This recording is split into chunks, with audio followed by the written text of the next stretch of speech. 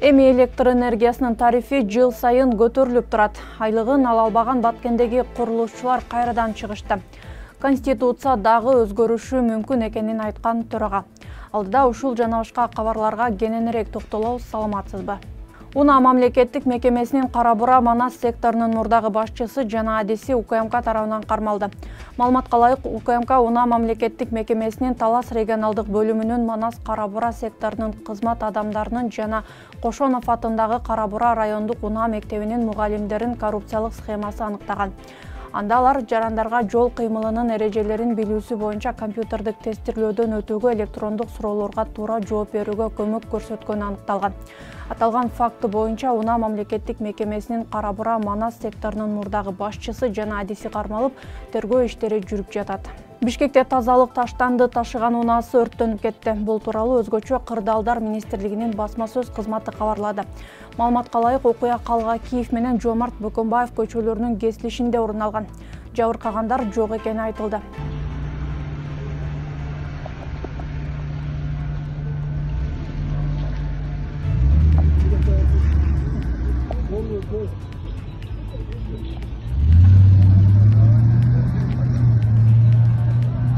баткендеги чек ара жаңжалында кыйраган үйлөрдү курган курулушчулар айлык маселесинен улам кайрадан нааразычылыкка чыгышты.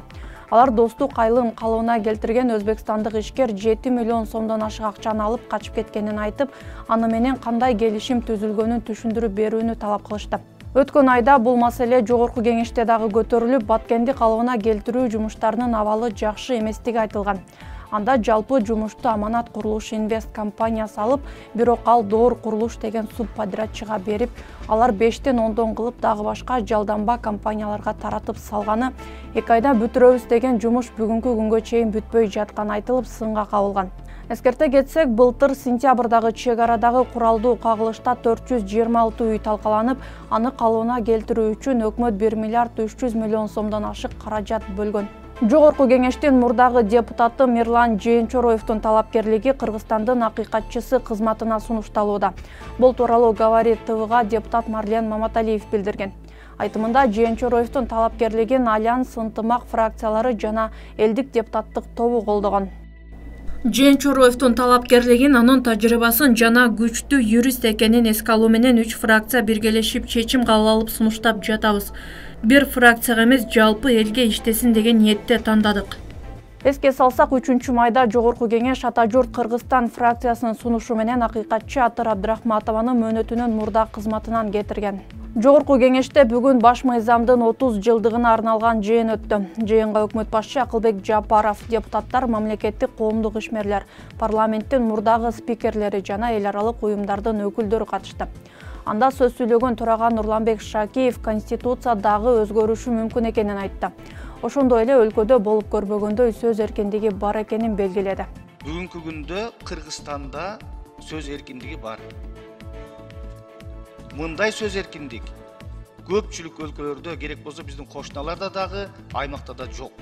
Бирок маселе ошол сөз эркиндигин биз кандай пайдаланып атабыз?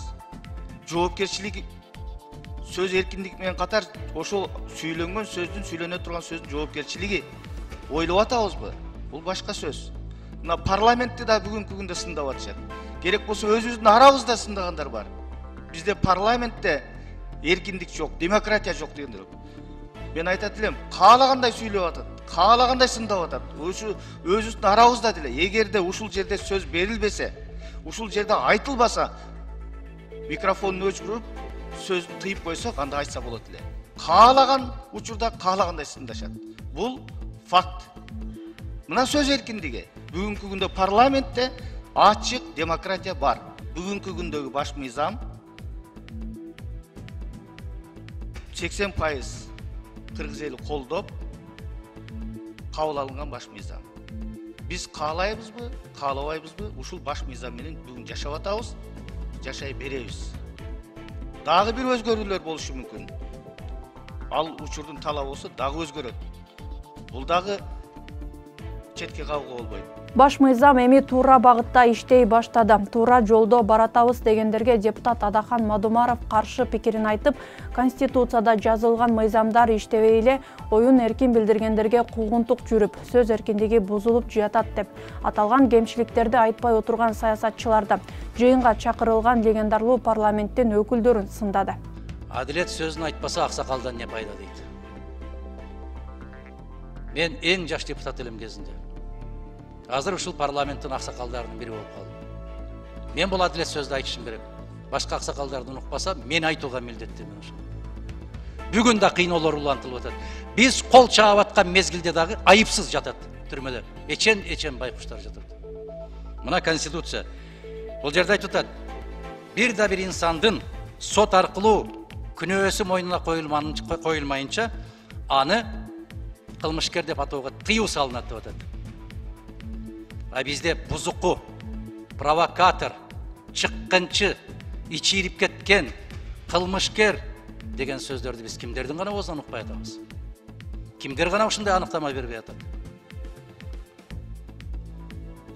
мен ушул жыйынга келбей эле койсомбу деген үмүтүм бар эле бир атанын балдарындай болуп мамыр жумур болуп жакшынакай шапылдап жаркылдап күлүп отурганда көңүлдөрүнө чөктүрбөйүн деген да оюм бар эле кечээ ушул жыйын болот дегенди укканда айттым эле эмне үчүн кандай максатта кандай форматта деп бир сөз уктум сөзсүз эле жыйынтык чыгарыш керекпи деп жыйынтык чыкпаган жыйындан эмне кереги бар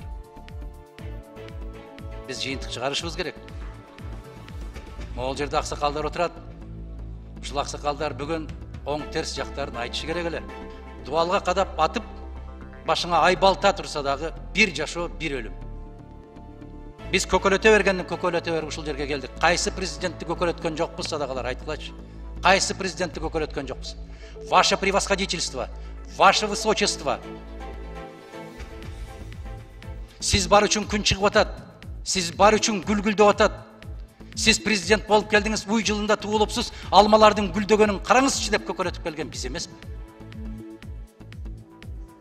ачуу сөз мен кечирим сурайм сиздерден бирок менин жүрөгүм мындан башка сөздү айта албайт бүгүн менин көзүм ушуларды көрүп турат менин акылым ушуларды түшүнүп турат эгер башка дүйнө башка аламда жашап атсам мен кечирим сурайм ал арада төрага нурланбек шакиев бизде ар ким каалаганын айтып эле жатат каалагандай демократия бар мадумаров каалаганын сүйлөйт деп жооп кайтарды эми бизде ушундай демократия ким оозуна келгенин каалаганын сүйлөйт биздин бир ораторубуз дагы айтты мен бул күнгө келбейт элем бул иш чарага дейт бирок келди мен катышпайт элем дейт катышып отурат мындай эки жүздүүлүктүн чеги болот мындай учурларды сөзсүз белгилеп коюшубуз керек. Мен бул бийликке түкүрдүм дейт өзү ушул бийликтин бир бута болгон парламенттин депутаты өзүнүн бетине өзү түкүрөт биз ошондой ачуу таттууну ачык айтып коюшубуз керек.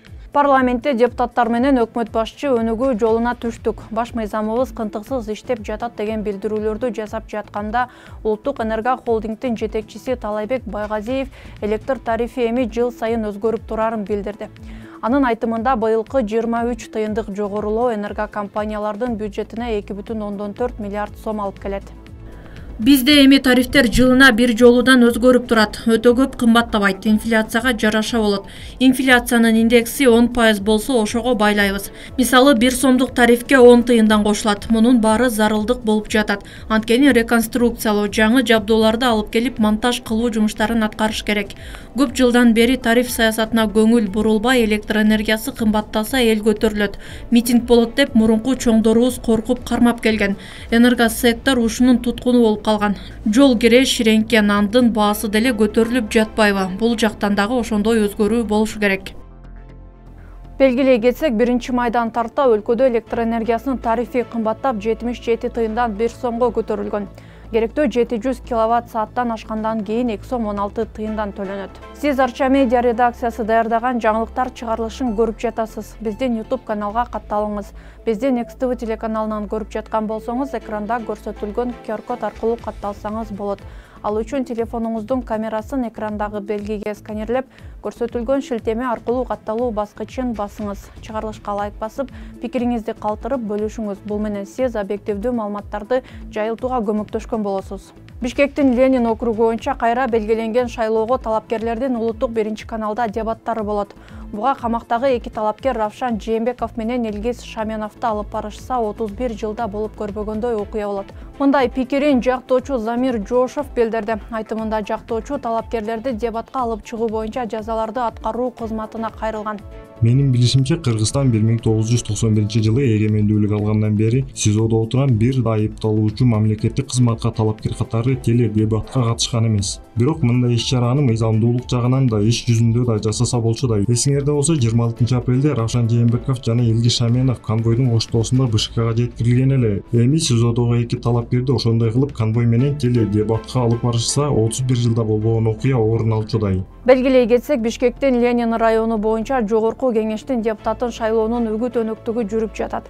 Үгүт учурунда эмнелерге тыюу салынганына токтолсок. Шайлоо эки миң жыйырма үч. Үгүт учурунда эмнелерге тыюу салынат бишкектин ленин району боюнча жогорку кеңештин депутатына шайлоонун үгүт кампаниясы жүрүп жатат. Шайлоо дайындалган учурдан тартып эмнелерге тыюу салынат. Борбордук шайлоо комиссиясы тарабынан бекитилген тизмекке ылайык талапкерлердин тизмесин көрсөткөн саясий партиянын символикасын талапкердин сүрөтүн камтыган басылма үгүт материалдарын төш белгилерди футболкаларды баш кийимдерди моюн ороочтарды кошпогондо шайлоочуларга акча каражаттарын төлөп берүүгө шайлоочуларга белектерди жана башка материалдык баалуулуктарды товарларды тапшырууга товарларды жеңилдетилген шартта сатууга кандай болбосун товарларды акысыз таркатууга акысыз же жеңилдетилген шарттарда кызмат көрсөтүүлөргө эскерте кетсек жыйырма сегизинчи майда бишкектин ленин району боюнча жогорку кеңештин депутатын шайлоо өтөт эскерте кетсек бишкектин ленин району боюнча жогорку кеңештин депутатын шайлоо жыйырма сегизинчи майда өтөт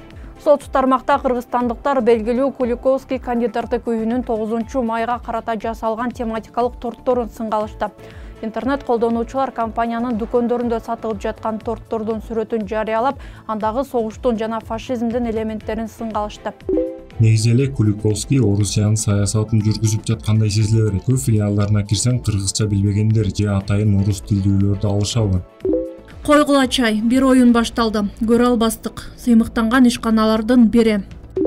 Мен кирип жүргөн куликовскийдин сатуу дүкөндөрүндө кыргыз улутундагылар жок эсе. Бул мен үчүн жагымсыз көрүнүш.